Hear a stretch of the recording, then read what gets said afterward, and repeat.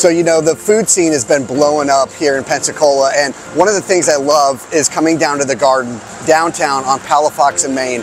There's like eight different spots to eat. There's a poke place, there's an acai bowl, there's uh, Nashville hot, you got tacos, there's you know Asian food. So there's some really really awesome little spots. There's Pearl and Horn. They also have a, a bar at the end. So if you're looking for a spot to just come and grab something different, kind of food truck style, right on the corner of Palafox and Main, come check out the garden.